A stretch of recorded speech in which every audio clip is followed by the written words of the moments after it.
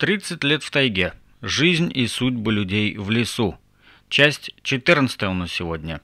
Понемногу подбираемся, подбираемся к количеству наших судеб.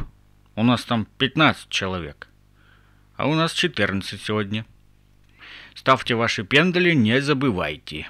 Что-то они там красятся, то не красятся в цей синий цвет. Что ты будешь делать? Крутять як кит на глині цьому ютубі. Що такое? А? То чорним у них там помазано все везде, то еще что-то. Что они там обновляются или что? Кто-то пишет, что в Германии уже две недели черным ма- помазано все. А может это не проверяют, непонятно. Так что все равно нажимайте. Ну, вот то есть, когда они проверяются, они черные. А когда они уже проверены, они синие. Раньше всегда синие были. Все меняют, эти тумблеры там меняют, переключатели, автоматы, чи що Чи свет им там отключають, непонятно. Обновлення може оце. Оце ж покращення все время оте як зроблять, і воно непонятно, що воно таке. Отак от. Може, це і конкуренти. Чорті що, короче. Но мы нажимаем, не забывайте. На сегодня у нас часть 14. Продолжаем.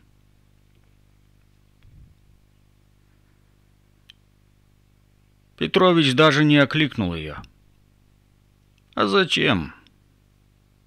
Даже не подумал вернуть в дом бабу. Он сел у стола, закурил. И долго-долго думал. Всю неделю он ходил на работу в тяжелом настроении.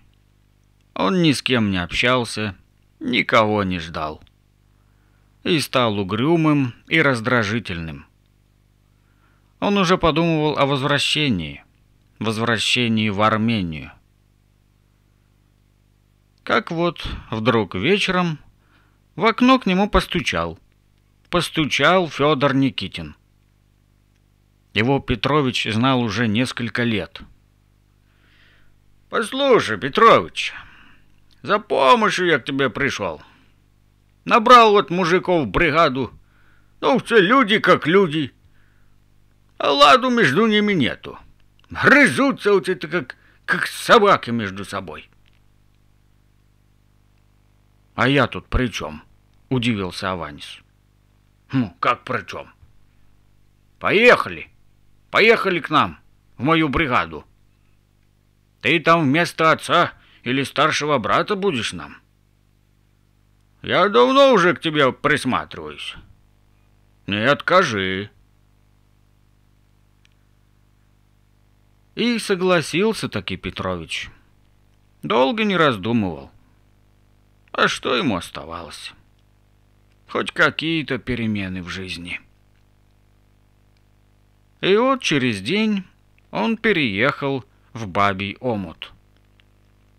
Повесил на замок на свой дом большой амбарный замок. И на этом поставил последнюю точку на этой семейной жизни. Подарков не дарил, дочку ругал. Ну разве это повод? Повод для ухода из дома? Нет, баба, не в том суть. Я плохо, что ли? А ты почему? Почему ж ты не подсказала вовремя? Ведь и мне никто в жизни подарков никогда не дарил. Я же даже не знаю, что это такое. Ты с днем рождения никогда не поздравляли. Да и не люблю я все это. К чему оно? Но я же ведь не обижался. Я же даже и не думал об этом. Эх, жизнь. Годы, годы. Как вода меж пальцев. Так и прошли. Да. Не удержать ни дня. Имел сына, и на тебе. Не стал отцом. Был мужем, и на тебе, так и не узнал любви. Имел дом, все имел, да и тот без тепла. Может и впрямь хватит уже этих потерь. Убеждал он себя, когда ехал на моторке по Алдану. Очень любил размышлять в это время. А здесь его ни о чем не спрашивали. Не лезли в душу с расспросами. У всякого и своих бед хватало. Забыться бы успеть, а иначе не пережить. А Ваня сработал чекировщиком. Потом и бульдозериста подменял. Случалось, и завальщика потел. На лесовозе и на трелевщике всюду у него получалось. Ничего не падало из рук. И где-то с полгода бередила все-таки его по ночам память. Ой, бередила. А когда, поддавшись уговорам, он все-таки продал. Продал свой новый дом, который строил Климу. Продал. Под детский сад. И все. Как будто что-то успокоилось у него в душе.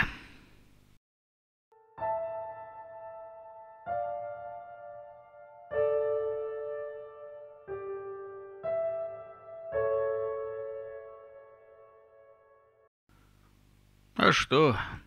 Действительно дом большой. Хоть кому-то пригодился.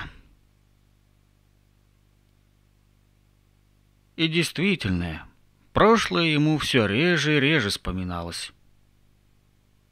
А через пару лет он и вовсе не болел уже селом. Даже не ездил туда. Но однажды, под вечер, Фелисада, заглянув в палатку, позвала его. «Петрович, к вам приехали. Ждут на берегу. И выйти просят». А Ванис выглянул. Не узнал, кто. И спустился на берег. В лодке его ждала Валентина и старый сельский кузнец.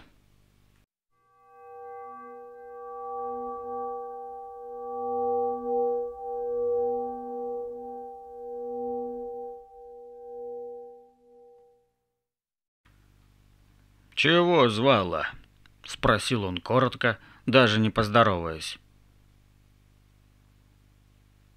«Петрович, Клим от Марии ушел. Насовсем. Помоги, помоги помирить детей».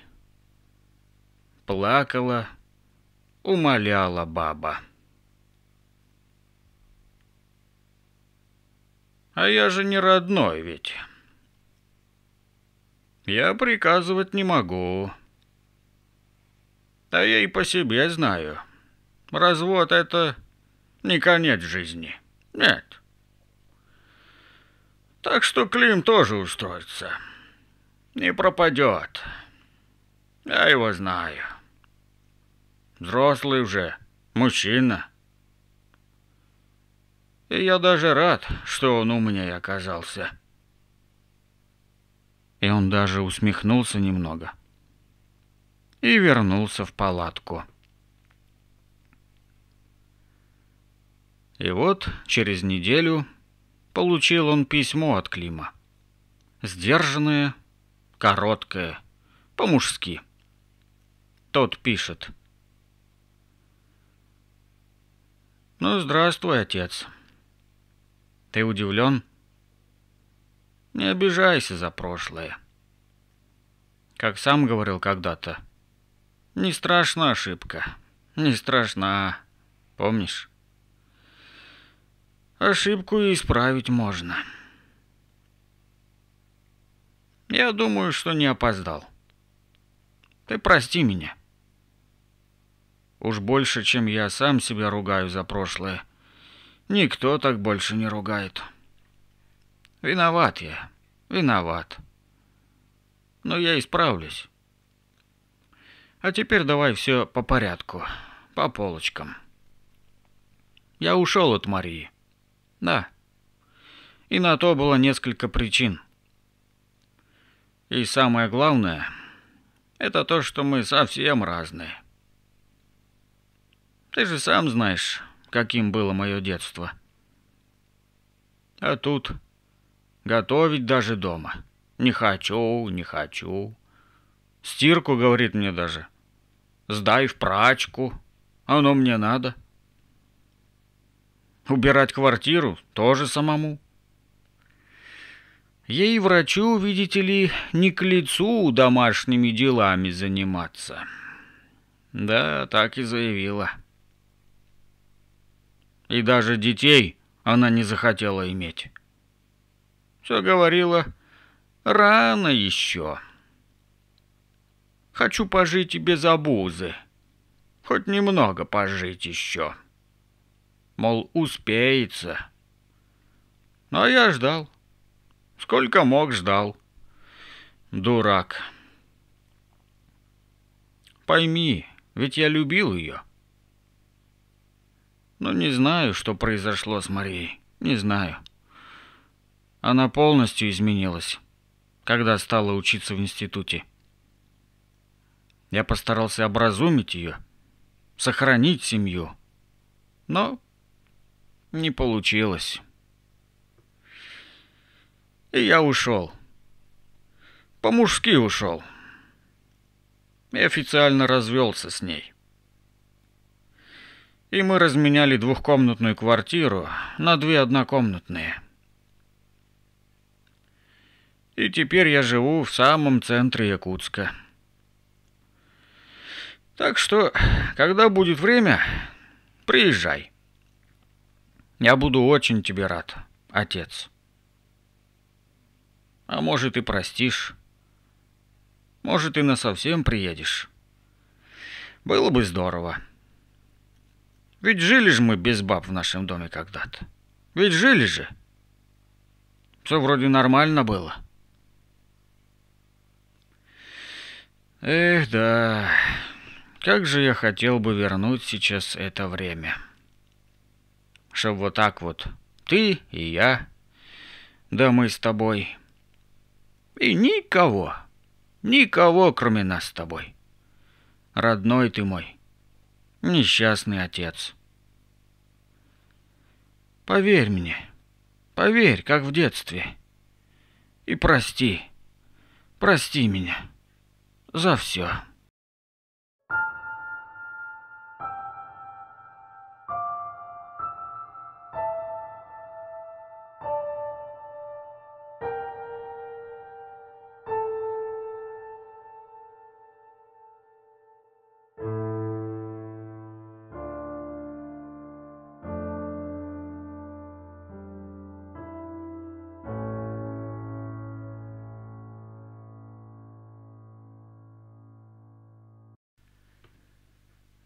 Глава пятая.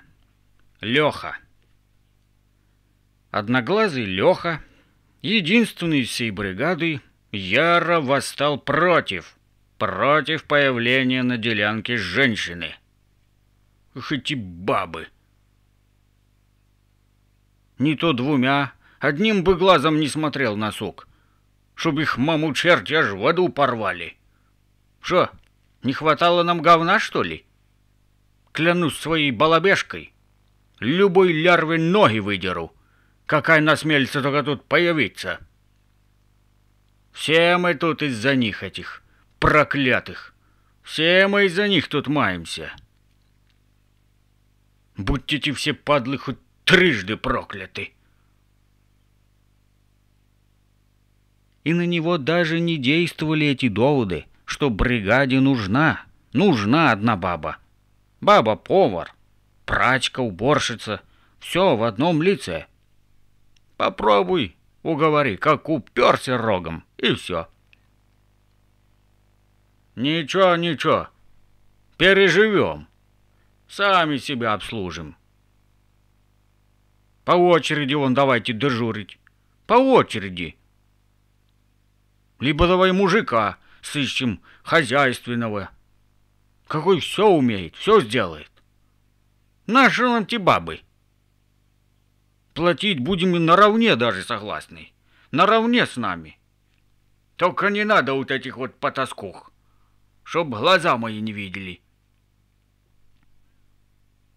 Но ведь не все готовить умеют. Леха, а стирка это ж, это ж что, мужичье дело тебе? Ну, сам подумай. Ну, опять же, с продуктами не все же могут обращаться.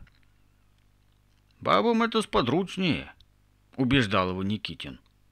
Но Леха даже слушать не хотел. Блажил на всю тайгу. Что, у тебя яйца зачесались? Если зачесались, то смотайся, иди в село. Иди на ночь и отведи душу. И не расшосуй тут меня. Но сюда не точи хвосты. Хватит с нас уже тех кикимор. Все, хватит. И точка.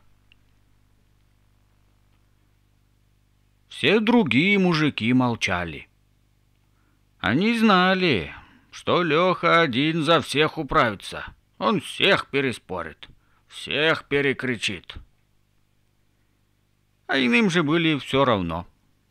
Все равно было. Баба там или мужик. Лишь бы только самому вот это у плиты не возиться. Не готовить жратву на всю эту ораву. Да ну и неплохо было бы носить чистые майки, рубашки. Совсем даже неплохо. Самим случалось недосуг, а чаще сил не хватало этим заниматься. Конечно. Хорошо, если бы нашли человека, кто согласился бы заботиться о бригаде. Ну где ж такого сыскать-то? Ведь все хозяйственные и умелые, они ж в семьях живут. Их оттуда никакими заработками не выманишь. Не отдадут, не отпустят. Вернут домой. Слушайте, мужики, а может, бабку какую одинокую уломаем, а? Предполагал Никитин. А на что она тут надо? Хвороба гнилая. Начнет здесь свои болячки вот это трясти. На всю тайгу охать, крахтеть. Грязи его нет, старух не оберешься. Не. А толку с нее? Толку, как с козла молока. Даже не ищи, не шукай. Зато обходи потом за ней, как за парашей. Подбирай ее вот эта срань. У них же у всех головы дырявые там. Где что положит там или поставит. Все, через минуту забудет. Скалероз, да? Ха, конечно. А ты потом скажи ей. Ты только скажи. А бить потом полная запазуха. От такой не помощь, сплошные убытки. Уж лучше вот так вот, самим управляться. Уж лучше даже в говне тут сидеть, но только без них. Противился Леха. Этот мужик единственный изо всех на делянке за все годы ни разу не оглянулся ни на одну из баб. Даже не посмотрел. Он ненавидел и презирал даже самое слово вот это — «баба». Он готов был голыми руками вот так взять и разорвать любую, которая только бы насмелилась явиться сюда — в бригаду. Даже разговоров о женщинах не переносил. Именно потому, как только мужики начинали вспоминать свое прошлое, он сразу же крыл баб трехматерными словами. Всех до единой. До пота так орал аж до хлухоты, до хрипоты, и спорить с ним было бесполезно. Всяких доводов, доказательств он даже слушать не хотел. Он готов был изломать всю тайгу в мелкие щепочки и засыпать ими все это бабье отродье, и вот так вот взять и поджечь к чертям собачьим. Чтоб ни одной, ни единой на этой земле не осталось. Чтоб все сгорело синим пламенем. Когда Леха только слышал о них, у него невольно сжимались кулаки и бледнели скулы. А единственный глаз так и вертелся колесом, тунды-сюнды, и горел, ох, горел, огнем лютой злобы. И Леха был просто неумолим. И если бы не Петрович, взявшийся за нелегкое дело, уговорить таки мужика, не решился бы Никитин никогда, никогда бы не решился привести на делянку повариху.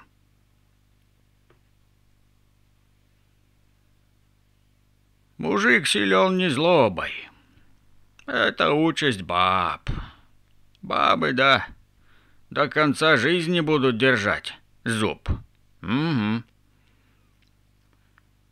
А если ты себя уважаешь, сумей не замечать, не видеть ее, как пустое место. И не бранью доказываем мы звание свое. Нет, далеко не бранью. Это, Леха, удел слабых, беспомощных, которые по-другому никак не умеют. Ну вот ты скажи мне, вот чем, вот чем тебе сможет повредить эта повариха? М? Тарелкой супа или кашей? Может, выстиранными портками или полотенцем? Ну вот кто она, чтоб тратить на нее свои вот это нервы? М? Стоит оно того? И подумай. Или их у тебя вообще девать некуда? Уж если вовсе точно, ты смотри в ее сторону слепым глазом. Насквозь, как прожигай. А зрячим смотри на нас. Хе. Нормально так? Нормалек. Ну не обойтись нам без хозяйки, ну, ну никак. Ну ты это пойми. Ты ж видишь, вообще ж не в моготу стало. Только пришел, сразу отрубился, и все. Куды там нам делов до этого? Так что стерпись. Не будь капризной истеричкой. И с нами тоже считайся. Ведь ты ж не один тут такой. Никому не в моготу без нормальной жратвы работать. Попробовал вчера? Ага. Как тебе? С желудками тут уже все измаялись. Ты вот об этом вспомни. О здоровье. Ну, хоть бы из мужичьего эгоизма ты уговаривал Петрович Леху. А тот брыкался. Видно, что это все ломало его. Психовал, кричал. Да из-за тебя тут вся бригада мучается. Завшиваем скоро. Зарастем в этой грязи. Скоро гречку можно будет сеять на коленях. Да что мы уламываем тут его? Ведь не женить мы его собрались. Какого черта он вообще выкручивается? Не выдержал тут Колька. И если бы не Петрович, побили бы мужики Леху. Ой, побили. За несговорчивость. Петрович вовремя охладил спор, вставив свое. «Ну, а коль дерьмо попадется, Выгоним. Ей-богу, выгоним. К чертовой матери. А если путевая какая баба, то она никому тут помехой не станет. И оглядел всех. Никому. И Лёшка тоже свыкнется, тоже оттает. Понял?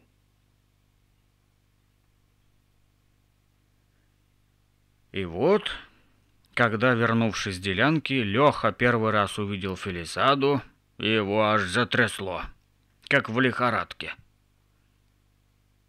Он отказался. Напрочь отказался есть приготовленный поварихой ужин и, матерясь, ушел со своей банкой тушенки. А в палатку вернулся только лишь глубокой ночью. В тот вечер, когда Фелисада в палатке рассказала о себе, Леха лежал на раскладушке в полудреме. И как только услышал голос поварихи, решил и головы не подымать. Даже не подавать признаков жизни. Он повернулся ко всем спиной, выставив фигой свой костистый зад. Он и впрямь уже засыпать начал.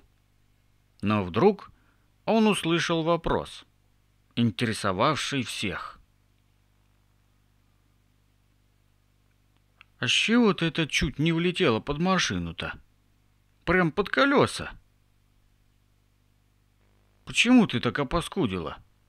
Что, тебе жизнь осточертела?» И все.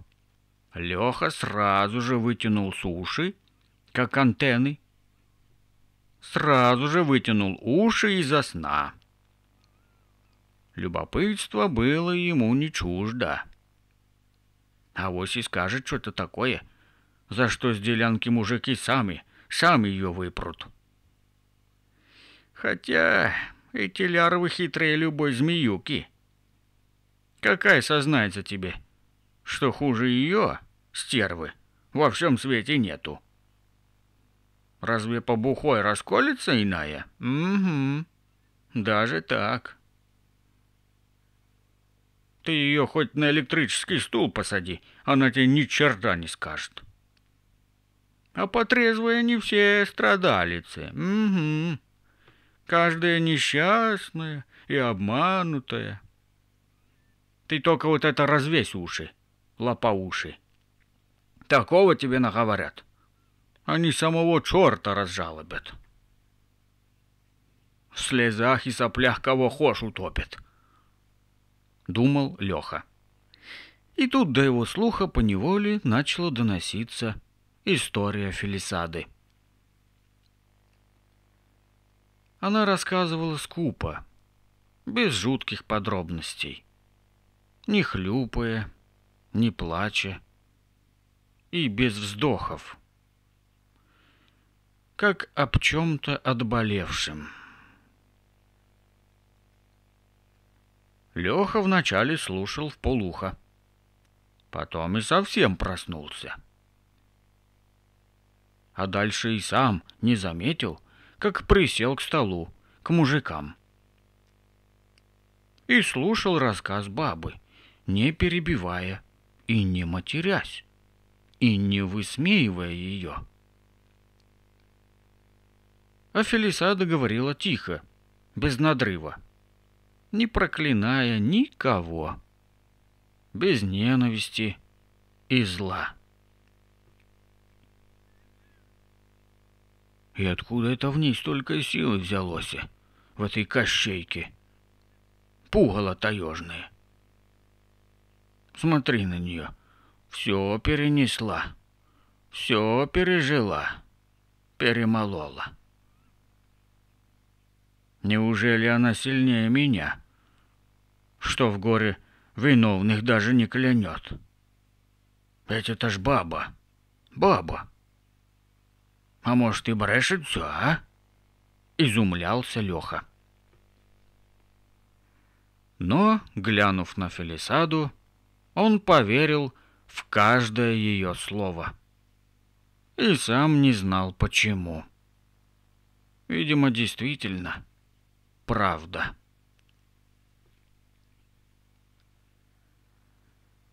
Эта жалкая, худая, серая бабенка, вовсе не похожая на других женщин, живущих в городах. Она и говорила. и оживала с трудом, словно приглядывалась и решала для себя, а стоит ли жить дальше. Она вовсе не жаловалась. Она не давила на сочувствие. Она просто поделилась и ответила на вопрос.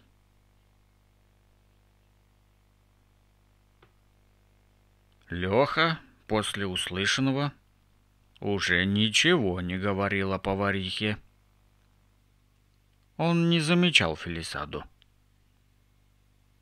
И это уже было большим сдвигом, который сразу заметила вся бригада. Он молча ел за общим столом. Дольше всех, не говоря поварихе спасибо. Он ни о чем не просил.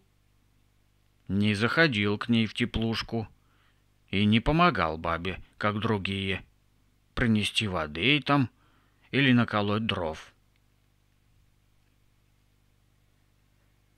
Но однажды он увидел на раскладушке сложенные аккуратной стопочкой все свои рубашки, майки и брюки, выстиранные и тщательно отглаженные.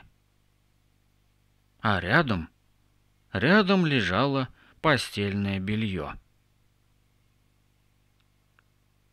Давно он на таком не спал. Даже не помнит, когда.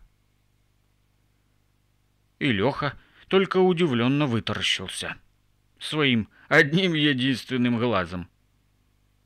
Ведь не просил, не намекал, не платил ничего. И впервые, впервые за последние годы он сказал бабе спасибо. Ох, и нелегко это было сделать ему. Прям выдавил. Полдня себя уговаривал. Но самое обидное, что Фелисада его благодарность даже не услышала. И Леха покраснел. Покраснел аж до пяток. Когда через неделю увидел у себя на раскладушке выстиранные трусы и носки, а на подушке отмытую расческу.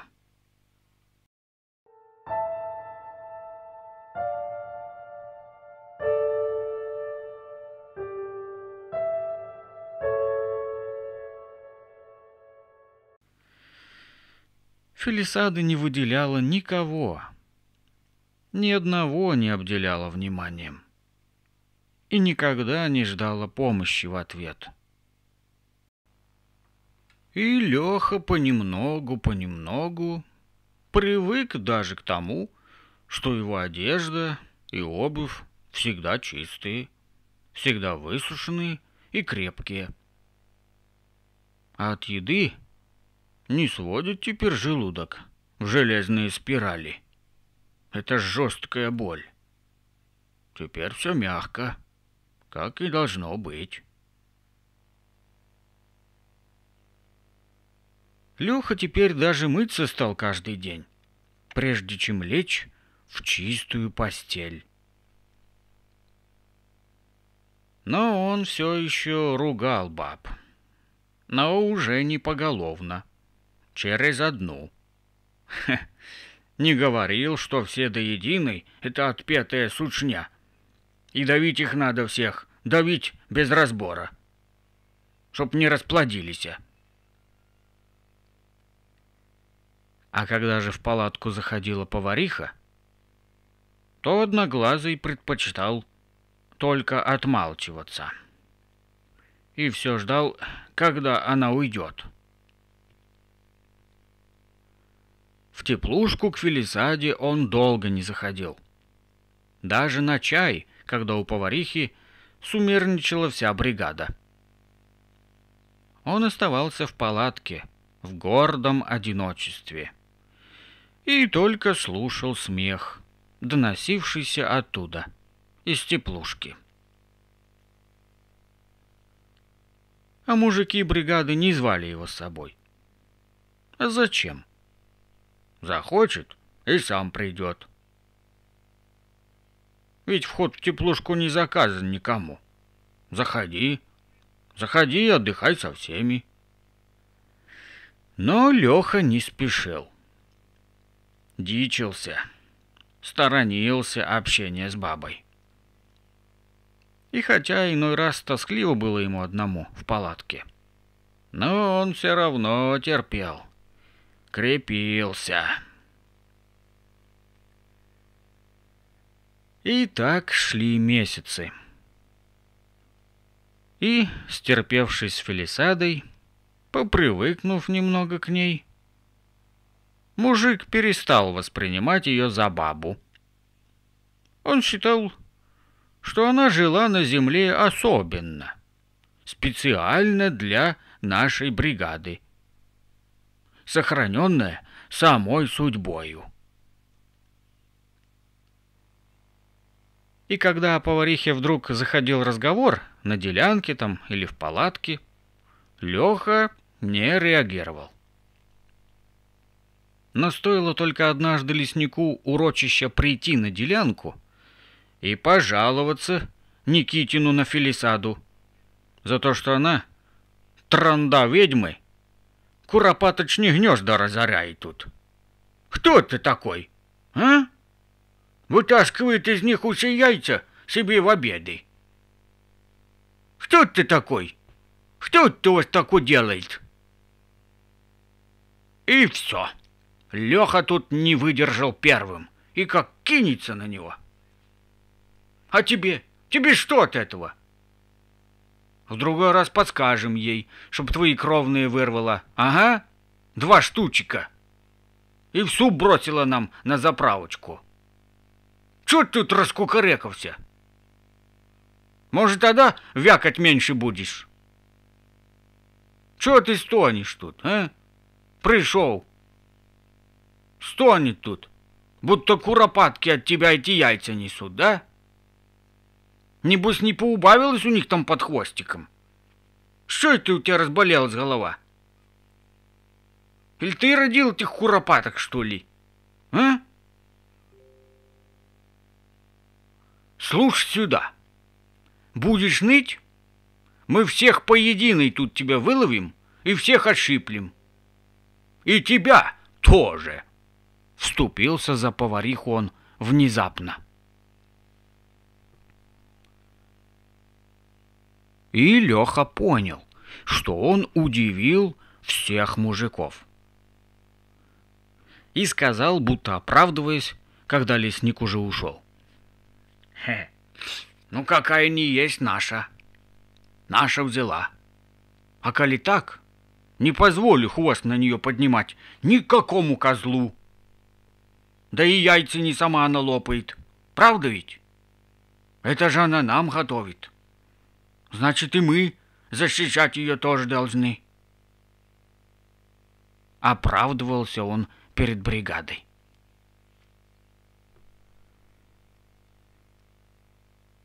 В другой раз, глянув в ведомость, подметил, что поварихи не начислено за переработку. И все. Как поднял хай, хавайся. Он потребовал, потребовал, чтобы не обжимали бабу. И таки добился своего.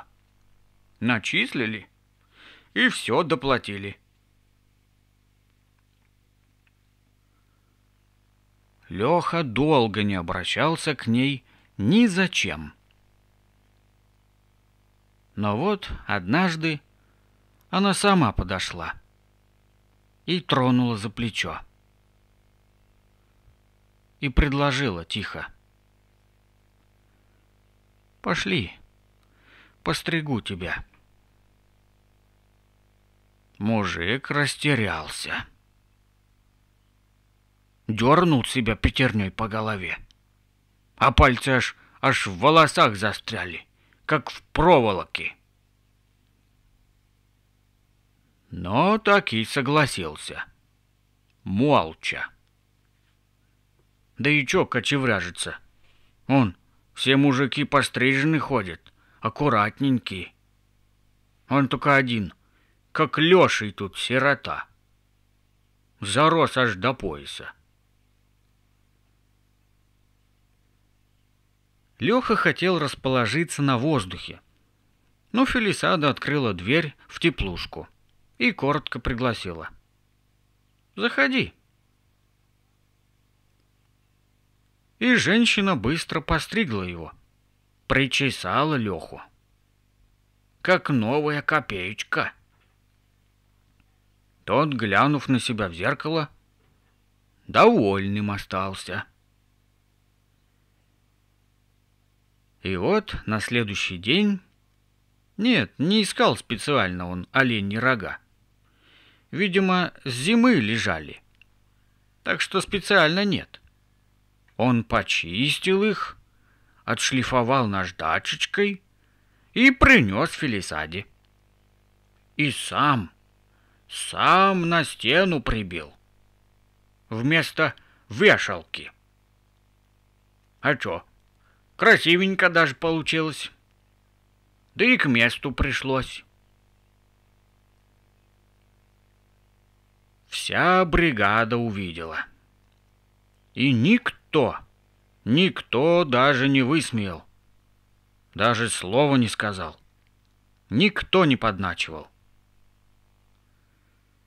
К поварихе тут уже давно относились с уважением. О перемене в Лехе только радовались. И вот весной, кто бы мог только подумать, подвернул мужик ногу. Да так вывихнул ее, что аж шагу сделать не мог. Нога вмиг опухла, покраснела. От боли не пошевелить. Как в палатку дойти?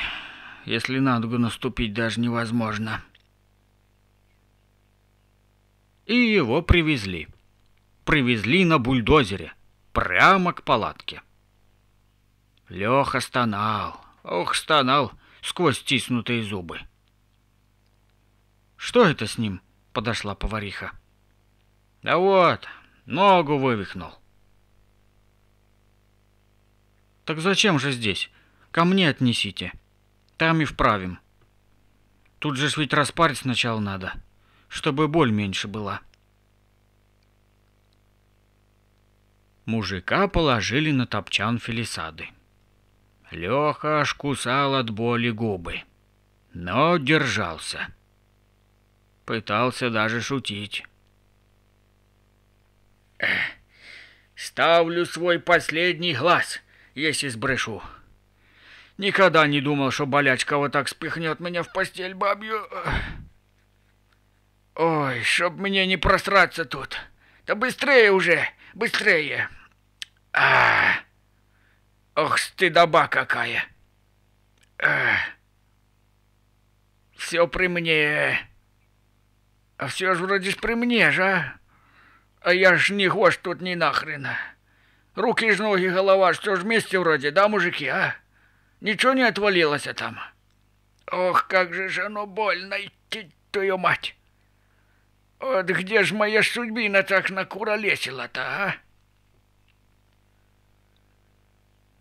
Да будет тебе, отмахнулась Фелисада и сказала мужикам. Снимите с него брюки. Чего, чего? Зачем? Это еще зачем вам? Не дам, вцепился в рымен Леха. В трусах хорош будешь, не дергайся. Наложила Фелисада горячую примочку на щиколотку. А через десяток минут предупредила. Потерпи немного. И Фелисада ухватилась за Лехину ногу. И как потянет изо всех сил аж хрустнуло. Повернуло в стороны, а потом резко, резко и сильно, как дернет на себя ступню. И все. Леха как заматерится по-черному. Как раньше. По-черному, трехэтажному. Хорошо, что мужики его держали крепко. А иначе как знать, как знать.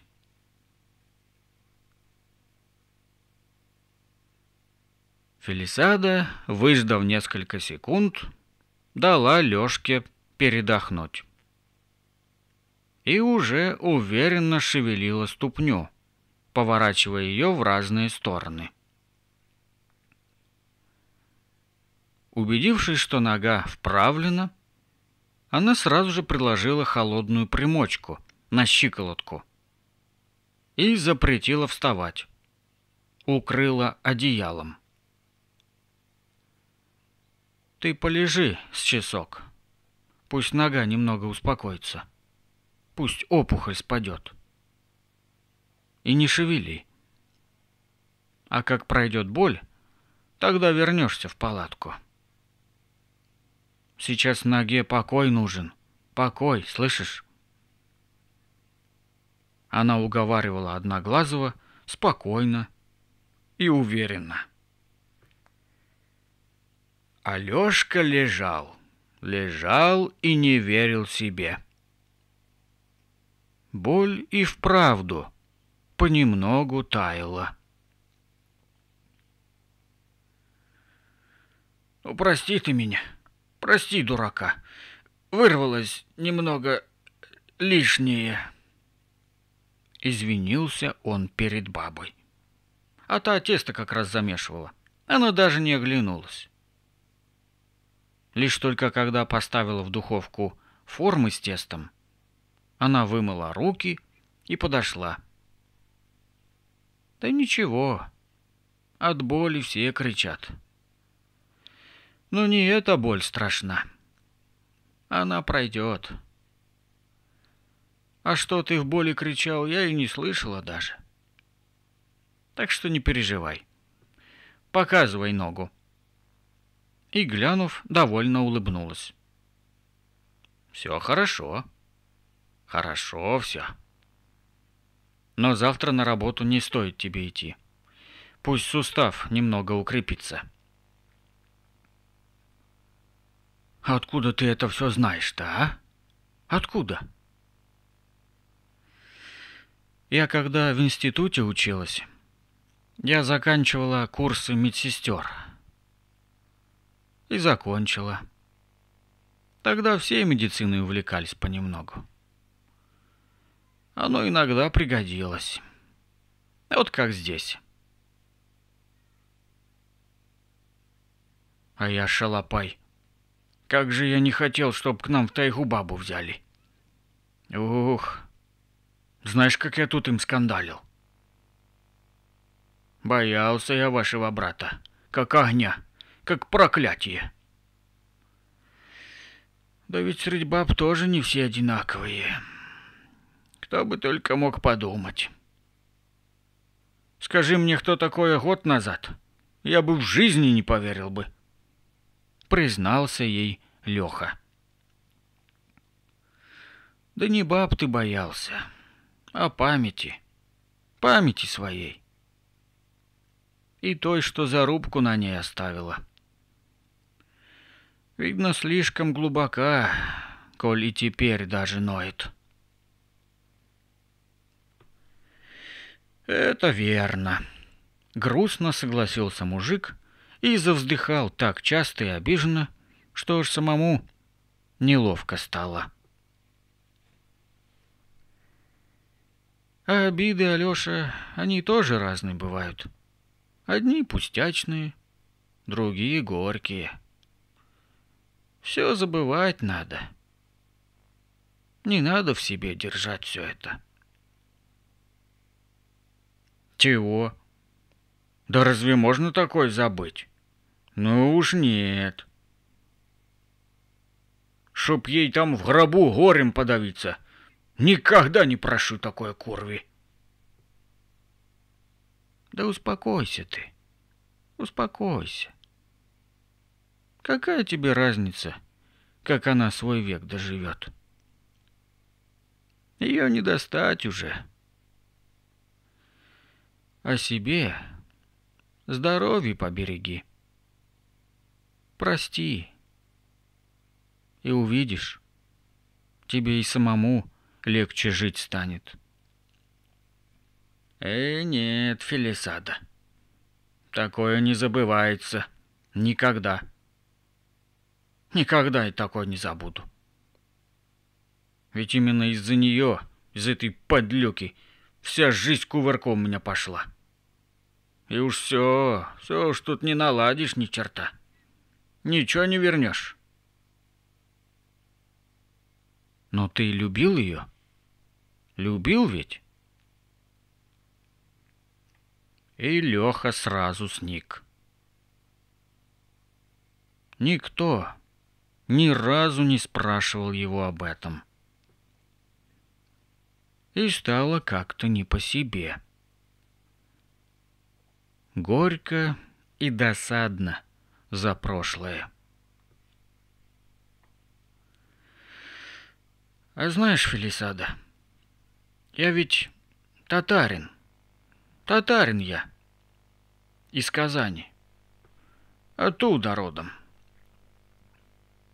Давно уж там не был. И теперь, конечно, не вернусь. Все, отвык. Я стал тут как, как тот конь без стойла. Нет у меня никого. И ничего. А ведь все имел. Все было. Отец и мать. Сестра была. Была и это. Она все отняла. В один день. Мигом. А родители хоть живы? Живы. Хоть за то судьбе спасибо. Не прикончила их горе. Да только мне к ним дороги нету. Все. Дорога заказана. И Леха вздохнул. Ему вспомнился большой, просторный дом, утопающий в цветущем саду это синее-синее безоблачное небо. Ему казалось, что и жизнь его будет всегда радостной и всегда счастливой. Алёшку в семье любили все, все поголовно. А отец, отец в нем души не чаял. Конечно, единственный сыночек. Мать пылинки с него сдувала берегла больше жизни. Сестра гордилась им. Красивее ее брата не было никого во всем городе. Ничем не обделила и ничем не обошла его судьба. Все дала.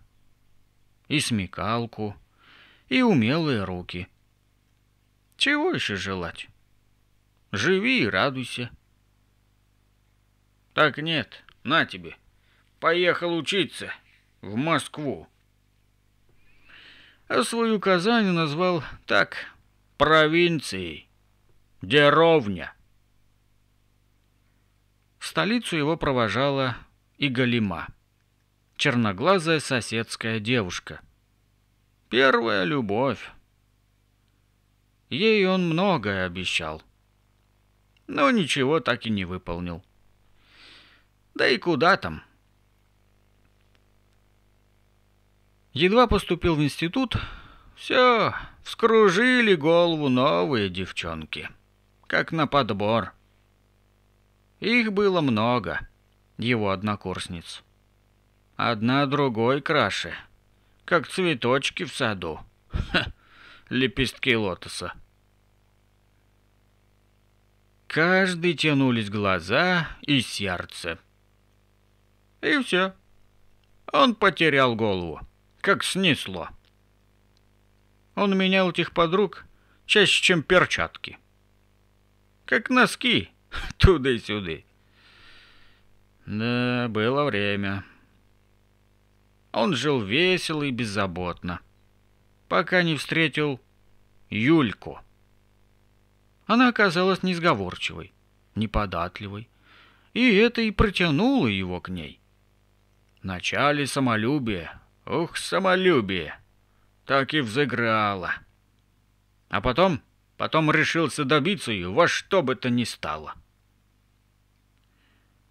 А вскоре увлекся и всерьез. Ничего в ней не было особого. Обычная.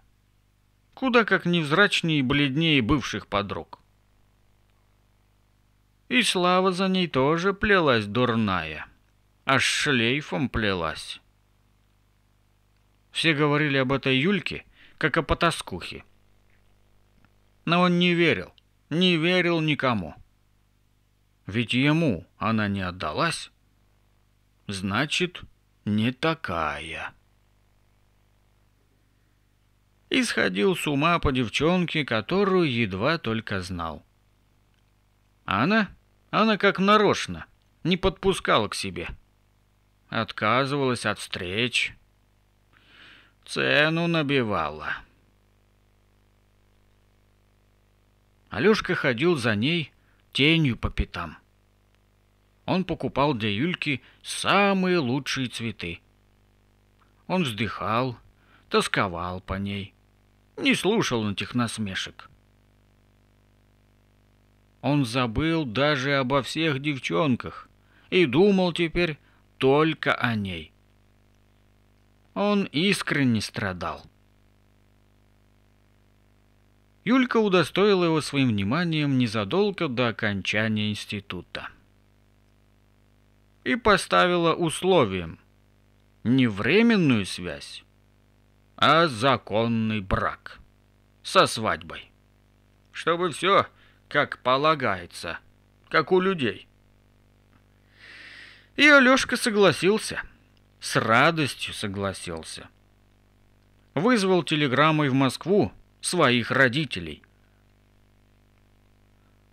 Отец не перечил сыну и обещал купить к свадьбе квартиру для молодых. Обставить все мебелью, чтобы все было и все сразу. Для этого он специально поехал в Казань, а через месяц вернулся с деньгами. И сделал, сделал все, как и обещал. Промолчал, где взял деньги. и не обратил тогда парень внимания на сутулившиеся плечи матери. Женитьба на Юльке, московская прописка дали возможность распределиться в столицу. И Алёшку назначили инженером-строителем в Тресте. Все шло как нельзя хорошо. Устраивали и оклад, и работа.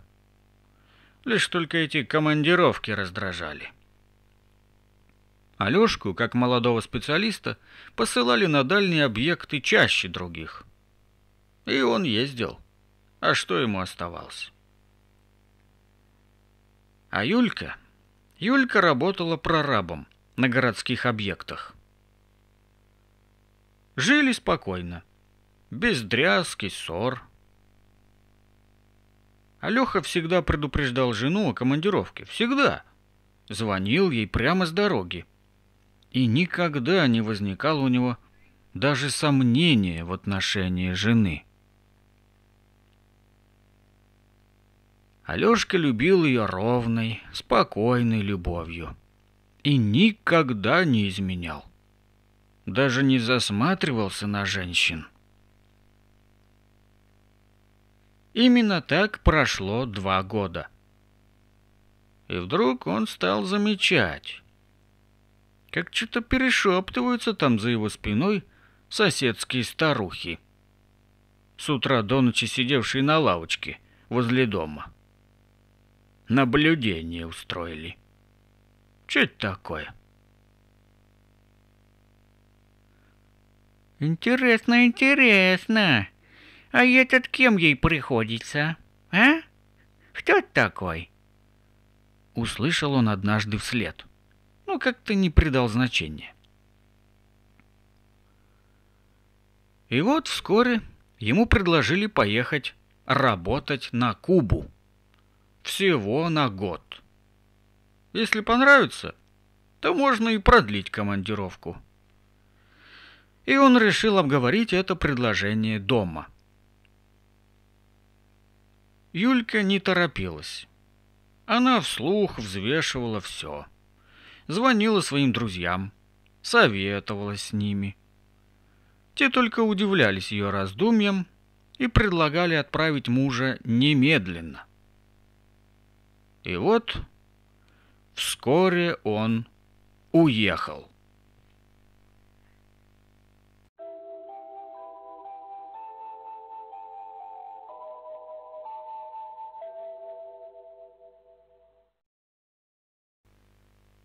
Да, чувствую, эта Юлька с Рулькой еще накрутит ему. Ох, накрутит. Но ну действительно, ребята, как это обидно, вы только представьте, когда ты ничего себе не позволяешь вообще. А она тут... Меня только удивляет, ну неужели она не могла думать, что вот эти бабки, это видеонаблюдение, соседи, это ж все видят. Неужели она не знала, что это вот как-то проявится? Она же могла еще хитрее делать это все. Но мы еще не знаем. Это мы только, как говорится, Шерлок Холмс и доктор Ватсон. Мы только догадываемся, правильно? Что там дальше будет, неизвестно. Но пока к этому все что-то так идет, правда? И тоже Куба. Куба, да, как раз с Союзом были отношения хорошие. И вот как раз, наверное, были там какие-то стройки тоже. Там же ж на Кубе ж и наши машины, газы, мазы, кразы, чего там только нету. Я как-то передачку смотрел. Там до сих пор они ездят. У них же там это, блокиратор, заблокировано все. И они до сих пор вот этот сами как-то там вытачивают детали, все, сами все делают. Они же не могут даже заказать. Вот так их заблокировали там. И терплят, терплят до сих пор. Так что такие дела, ребята ставьте ваши там педали, что-то они красятся, я не знаю. Тот вы пишете в черный цвет красятся. Может, они поменяли систему свою, уже оно в черным там мажется краску. А потом вы пишете как-то, обновляете, оно хоп, оно синее. Ну, я не знаю, вы нажимаете все равно, и пусть оно будет черным, конечно же, это же ваше спасибо за работу. Это обязательно надо, об- обязательно. Без нее не было бы этих аудиокниг, это точно, вы тоже это понимаете. Так что я не знаю, может это как бы вот это щось они там меняют, эти сервера, щось автоматы там, не знаю, отключают им лепестричество, не знаю, что там есть. Но я думаю, что это обновляется он. А у нас тоже же обновляется. Там раз в год, в полгода. А у нас же как что? Что-то чуть-чуть не так. Все, мы уже думаем, это все думаем, что это такое. Что, все пропало, да? мы начинаем думать, что там что-то. Так вот это я думаю, что Потому что вы мне кто-то из Германии писал, что уже две недели в Германии ставятся черные лайки. Может, у них такое новшество, чтобы оно не мозолило так глаза, сделали, чтобы черным оно было. Но мы привыкли это синим, правда, нормально было, что? Зачем его вообще было менять?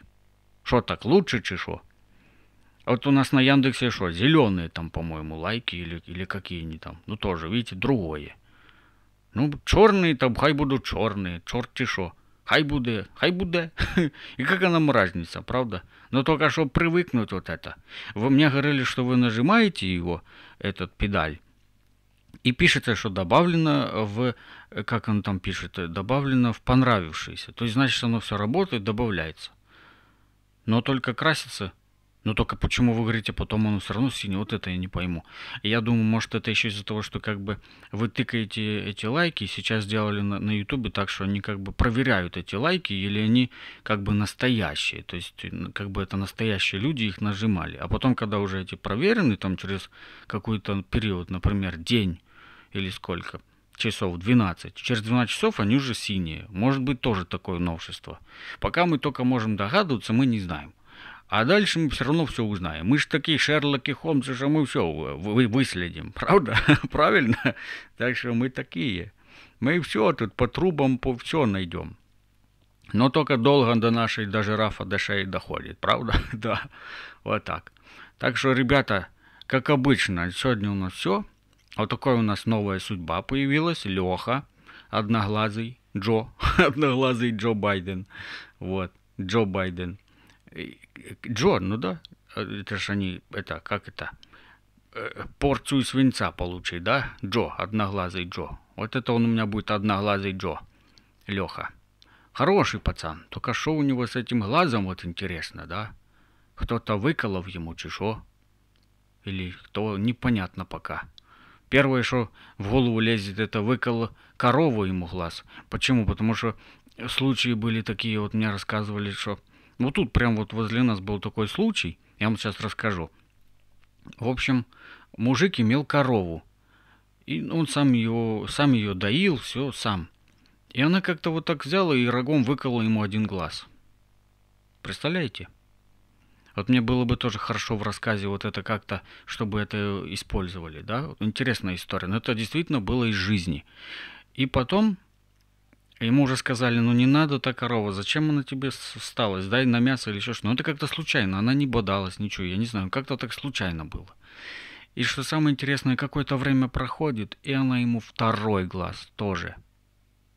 Представляете, он вообще остался слепым.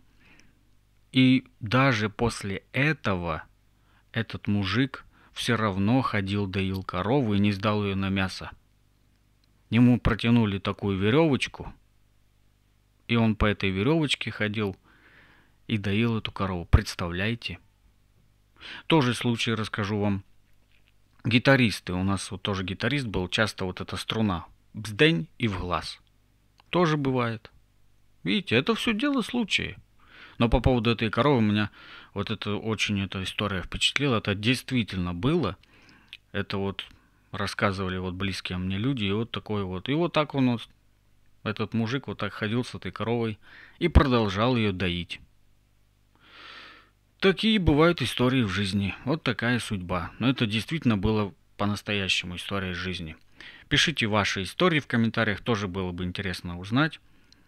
Э, настоящие, как у вас бывает. І пишіть ваші предрасположення, що це Юлька Срулька, що вона йому наробить. Що вона йому наделає? Ох, вона йому накрутить, я чувствую, як кіт на глині.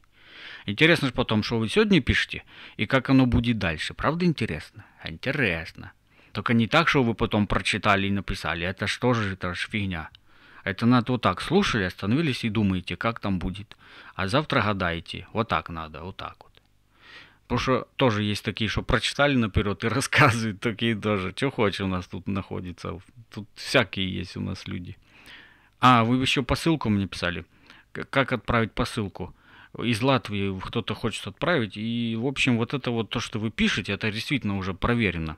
Там написано новая почта 16 склад. Мы же уже проверяли. То есть точно доходит из Латвии, точно. То есть можно вот так писать, и оно приходит по-любому проверено. Так что вот по ссылке можно указывать вот это. То есть без проблем. То, что в описании снизу под видео. На сегодня уже все. Вроде многое обсудили, даже больше, чем обычно. Так что уже увидимся завтра. Включайте спидолу, как обычно, в 12 ого. А на сегодня все. Покедова.